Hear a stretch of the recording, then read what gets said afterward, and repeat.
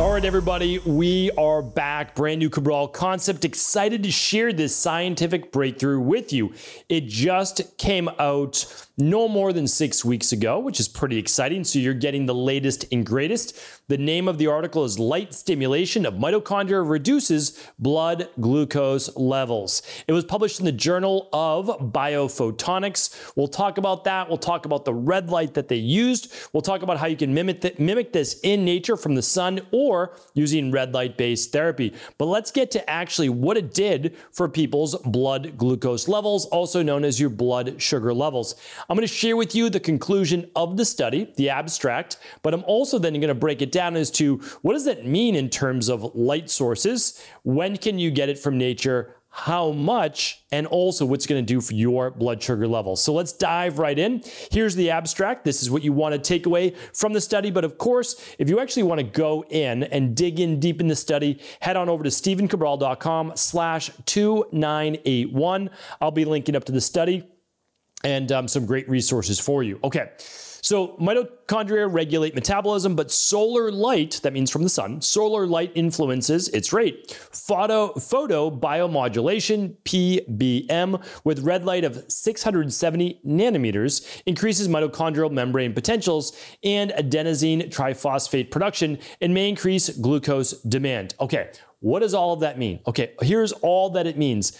When red light penetrates the skin, touches the mitochondria, it can up regulate ATP. And ATP is energy that we use for essentially all natural processes, but especially those in activities that we do for, let's say, under 30 seconds, under 60 seconds, walking up a flight of stairs, let's say, putting out output, um, doing push ups, doing your workouts, like anything where ATP is needed, which is needed all day long, um, that is where this is useful. Now, when you increase ATP, you're increasing your need for glucose. If you increase your need for glucose, what it's going to do is burn off, or eh, I shouldn't say burn off, it's going to utilize more of the glucose, hopefully, that's in your bloodstream. So that's how it's going to bring down your blood sugar levels. That's the mechanism, at least the theorized mechanism of action. All right, so let's dive into it now.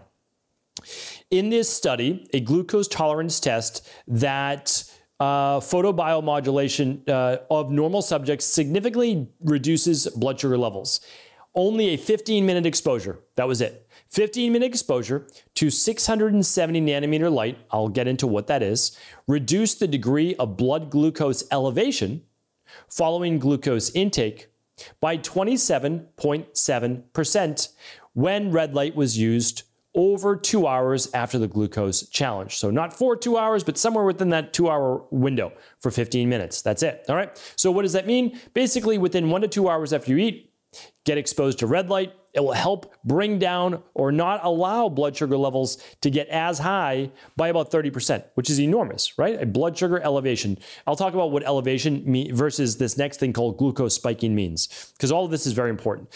Maximum glucose spiking was reduced by 7.5%. Doesn't sound like a big number, but it's huge, and I'll explain in just a moment. Consequently, red light exposure can be used to reduce blood glucose spikes following meals. This intervention may reduce damaging fluctuation of blood glucose on the body. And what that means is it can help with the eyes, it can help with the kidneys, it can help with vascular damage, and so much more that can happen from high blood sugar or maybe even moving into uh, type 2 diabetes, etc. All right, so this is really powerful. What does all of this mean? It, they said a number of things. I explained a little bit about the mitochondria, the mechanism of action, how it's going to draw more or use more sugar that's in your bloodstream, so it's not going to allow that spike to get as high. Uh, it can reduce something called blood glucose elevation by 27.7%. All right, so what does that mean? Like, what's this blood glucose elevation versus blood glucose spike, which was 7.5%? All right, so the degree of blood glucose elevation, it's a measure for how much glucose levels increase from baseline. What does that mean? Well, let's say before a meal, your blood sugar was at 80. Okay. And then after you eat, it was 130. So it went up by 50 points. All right. So that's your blood glucose elevation from 80 to 130. It goes up by 50 points. Well, if you reduce that by almost 30%, let's do easy math on a podcast, then uh, the difference of 30% on 50 points is 15. So instead of your blood sugar going from 80 to 130, uh, with that being the 50 points, it would instead go to 115 right? On average, we're just saying. So now it goes from 80 to 115. That's dramatically different than 130.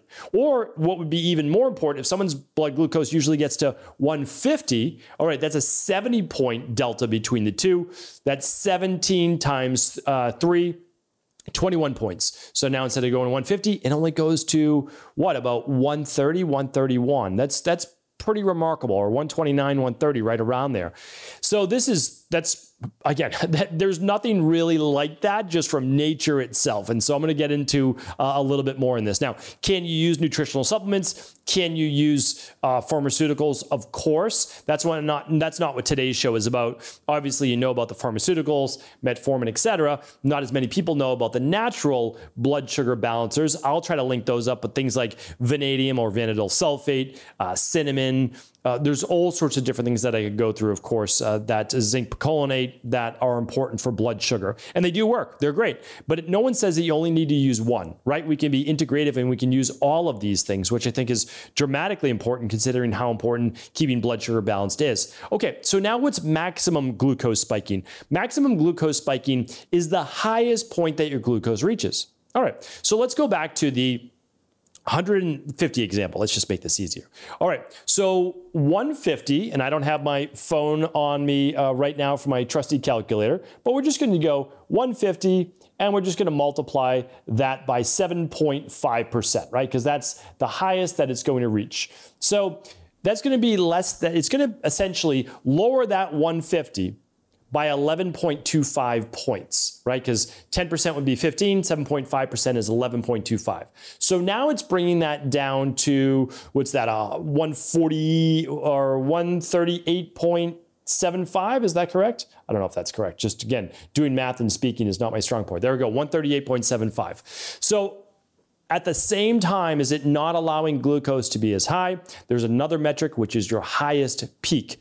And you want that. That's important because if you've ever used a continuous glucose monitor or tested your blood sugar, you don't really want to peak out above 140 or so uh, after a meal. So when we look at that, if you're typically peaking out at 150, this is going to help you bring it down to about 138. So I think these types of studies are fantastic. So now let's get into, I always, on the Cabral concept, I always want to give you the action plan as well. So how can you mimic this? How can you get it from nature?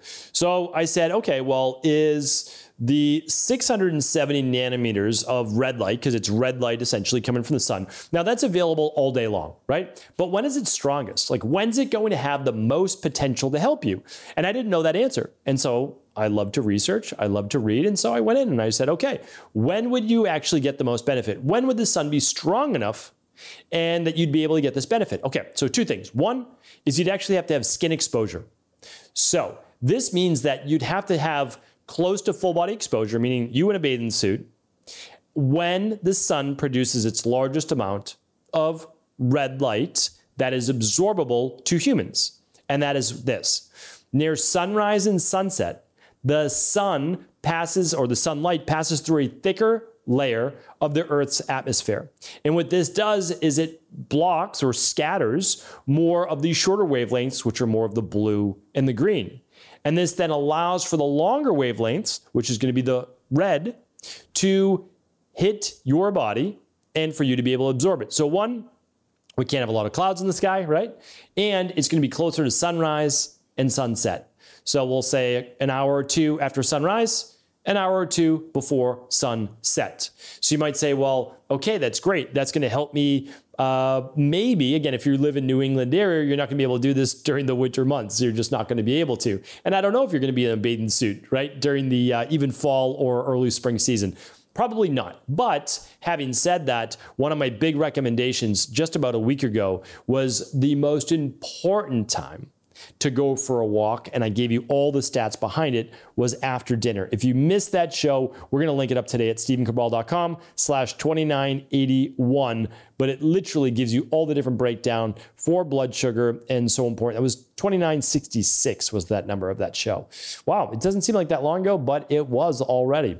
All right, So here's what you can do. And again, I know some people like to get it all from nature, and I think that that's amazing. But you have to keep in mind, I'm not sure that humans were ever meant to live in New England, right? Because if we didn't have shelter, if we didn't have all of these warm clothes, if we just literally had what we were born with, uh, which we did for millions of years, it would have been difficult to survive with nothing growing uh, in the cold weather, nearly impossible. But that's neither here nor there.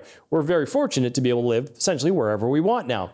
Now we're not going to get that red light. Okay, so now how do we do that? There's two ways. There's low level laser therapy that sometimes you can get one of those little uh, low level laser therapy, for lack of a better term, guns that you can use at home and you can point it. So, photobiomodulation, you'd point it directly at, let's say, a sore joint, an inflamed area of the body, and it can help to reduce pain, reduce inflammation, etc. Again, now that I said that, I can't give you, I have to give you my disclaimer. I can't provide you with medical advice, medical treatment plans, medical cures, or medical diagnosis. But really important and really great for repairing tissue damage. So you can do that typically um, at some naturopathic doctors' offices, some chiropractors, etc. Okay, but then there's an easier way, which is the optoelectronics and the photonics that most of us have heard about by now, which is red light based therapy using light emitting diodes. Or in the case of the Thera um, that I'm going to talk to you about, is a triode, and just basically three instead of two LED lights. So these are laser diodes that actually produce red light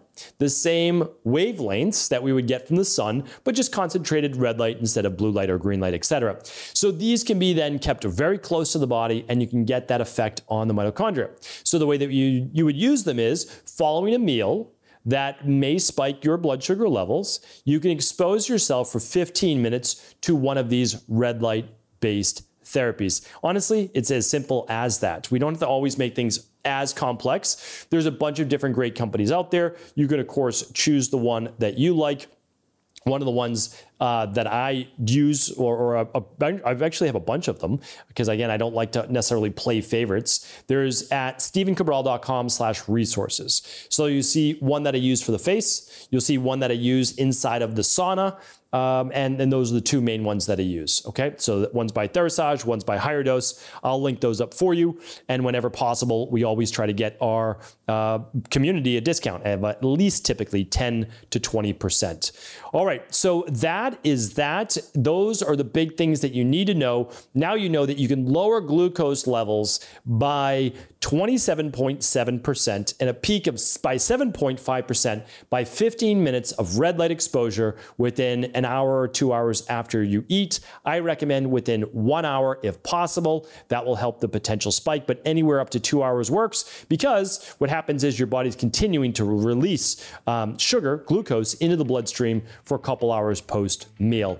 All right, everybody, hopefully this was helpful. All of the science, all of the research, all of the resources and links will be at stephencabral.com slash 2981. Take care, and I'll talk with you tomorrow. Thanks so much for tuning into today's show. Before you go, don't forget to hit that subscribe button. I want to make sure that you're getting our daily content, not missing out on anything functional medicine, wellness, weight gain, weight loss, anti aging, living longer, stronger, and all of the most cutting edge research. And if there's any topics you want to hear, feel free to leave them in the comments below. Take care.